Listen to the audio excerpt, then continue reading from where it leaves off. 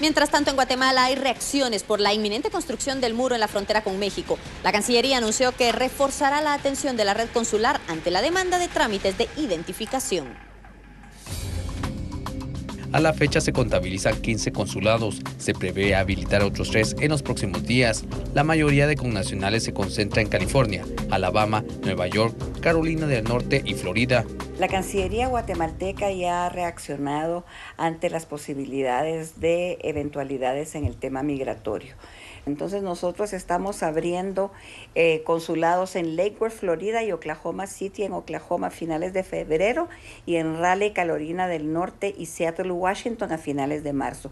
Ya tenemos los locales, ya está el personal designado, estamos en las readecuaciones de los locales, están autorizados por el Departamento de Estado desde el 29 de diciembre oficialmente del año pasado. La funcionaria recomienda a los connacionales que no cometan ninguna falta contra la ley, pues según las nuevas disposiciones sería objeto de una deportación inmediata.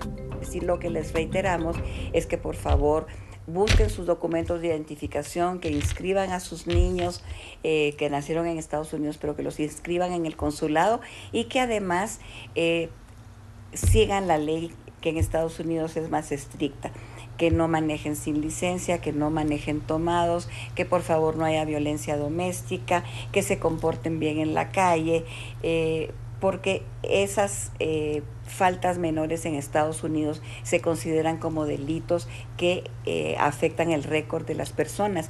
Y usted muy bien sabe, como hemos leído y ya lo ha afirmado el nuevo presidente, y lo había también dicho el presidente Obama, que iban a deportar en primera instancia a aquellas personas que tuvieran un récord criminal. Autoridades de Relaciones Exteriores esperan la comunicación oficial con los países de la región mesoamericana para adoptar nuevas estrategias.